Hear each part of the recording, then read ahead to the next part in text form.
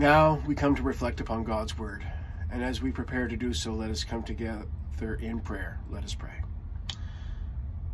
Lord, we are amazed to be able to read your word, to have some understanding of it, but Lord, we ask for your understanding to be ours. Lord, guide us in your truth and let what we share now in reflection upon your word be honor, honoring and glorifying to you and you alone. This in Christ Jesus' name we pray. Amen. Jesus was going to die.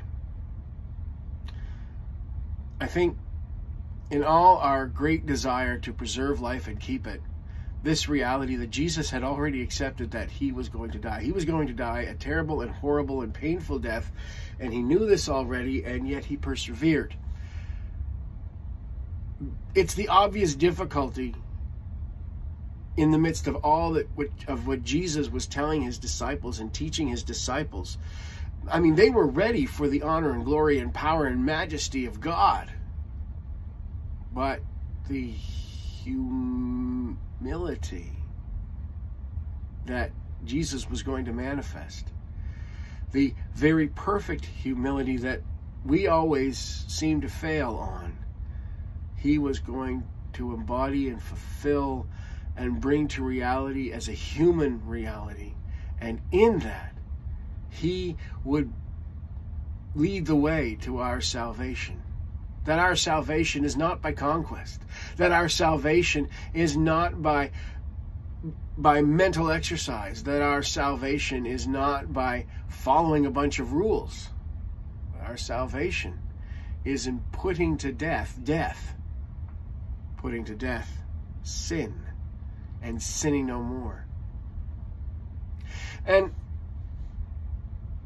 it starts for certainly for the disciples in their encountering of this teaching of Jesus, finding a way to accept God's understanding in Jesus Christ of our mortal condition.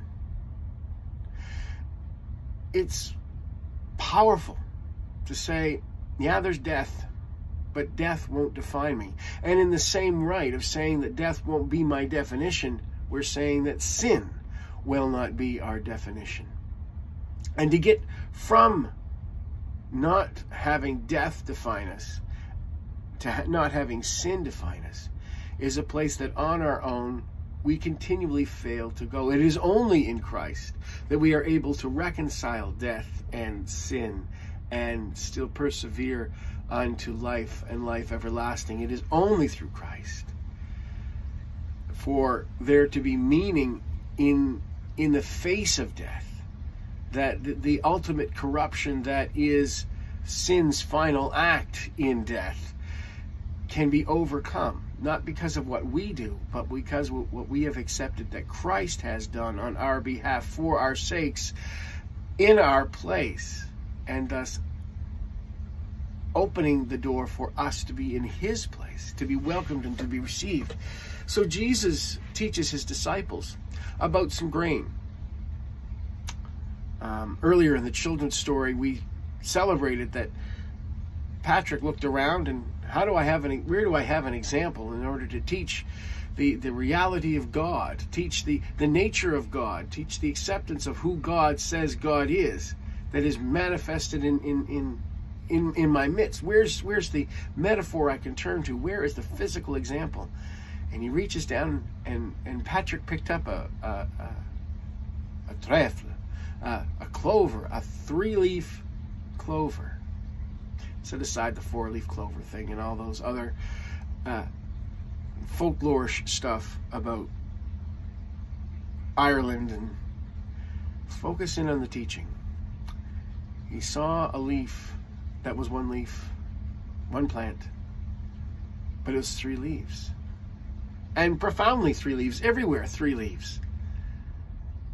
And he said, This is the example that God gives us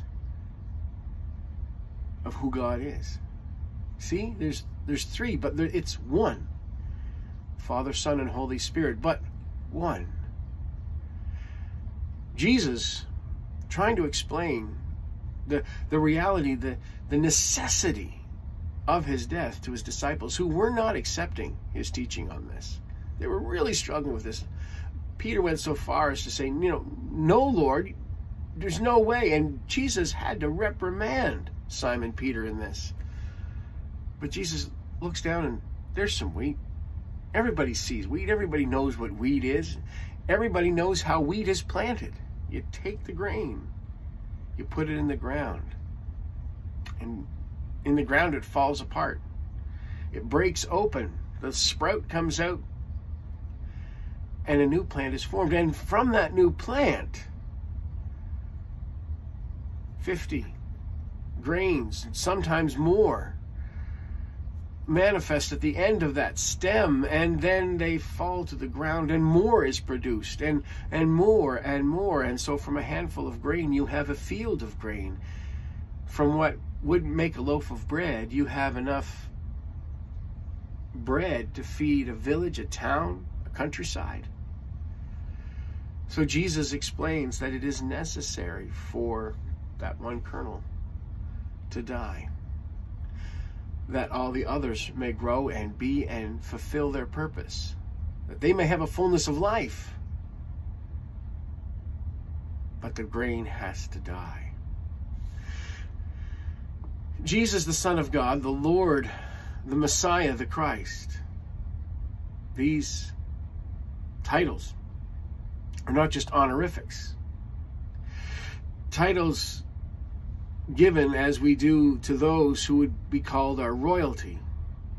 And people use them to lord over others. We have other titles, boss. We have other titles, uh, president, prime minister. We have other titles, general, admiral. They're titles. They're not ultimately defining.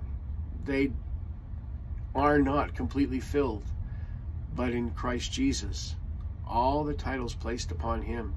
They are fulfilled. They are real. You and i can try to be king queen teacher lawyer minister and as good as we are we only really get it to the edge of pretending. But jesus is all those titles that he proclaims and more. And in the same way even though he has died he is alive and he lives. And he takes all of the things that we would use to define ourselves, and He makes them more real for us in Him than we can in ourselves. And even though we make the claim that we're alive, we're mortal, we're failing, our bodies are dying. Jesus is the source of all living. And if we want eternal life, we turn our, our attention to Him.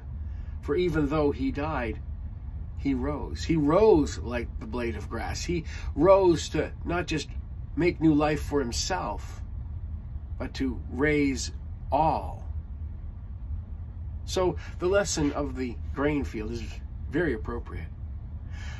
Our sin casts us away from that life. Our sin is the corruption that rots our grain away from being alive. We are, and, and the more we cling to who we think we are over who God tells us we are, we abide in that corruption. We become less and less whole, less and less able to, to have life or sustain life or to offer life unto others. It is only through our dependence on Christ and His example in following His way and doing what He has done in taking up our cross and following Him. Maybe not to the same kind of suffering and death, but through whatever journey God has placed before us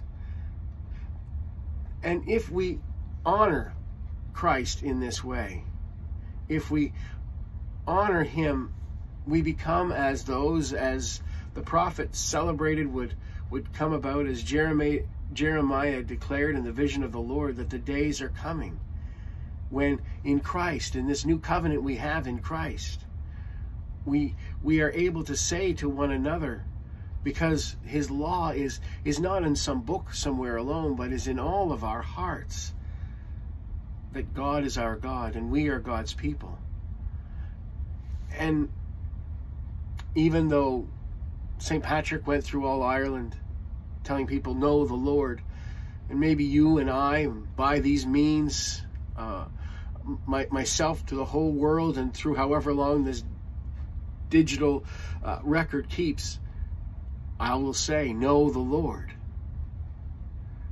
But all we pray, the goal of all of this is that everyone will know the Lord, from the least to the greatest. For God has forgiven our wickedness. God remembers our sins no more. And so we are drawn away from all that is death into all that is life. By God, for God's grace and glory is true and everlasting. God bless and keep you.